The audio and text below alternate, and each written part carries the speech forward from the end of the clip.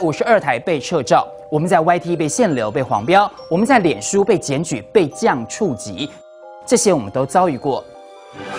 但我们不放弃让真相被听见被看见。我们现在有自己的中天新闻网 app 这里永远不断线请你赶快下载中天新闻网 app 这个 app 好贴心中天的新闻直播和节目全部都在里面一次满足。